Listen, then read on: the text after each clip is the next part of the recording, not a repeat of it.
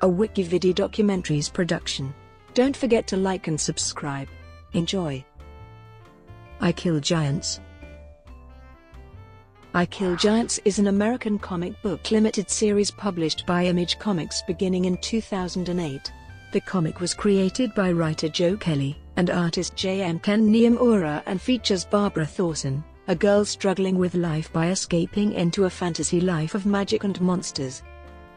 Synopsis According to Kelly, it's a story about a girl who's a bit of an outsider. She's funny, but totally in our geekland. She's obsessed with Dungeons and Dragons. She doesn't have a lot of friends. She's a bit of a social misfit. She's taken her fantasy life a little far, and really only talks about giants to people. She's convinced that giants are real and giants are coming, and it's her responsibility to stop them when they show up. This weird little fantasy life that she's going has started seeping into her real life.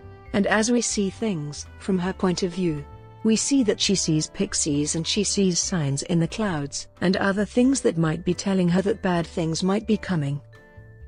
Film adaptation In March 2015, Treehouse Pictures announced a film adaptation of the novel, which will be directed by Anders Walter, based on a screenplay by author Joe Kelly. In September 13, 2015, actresses Zoe Saldana and Madison Wolfe signed on to play Ms. Molly and Barbara in the film.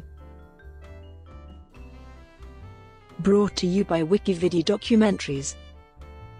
Would you like to know more?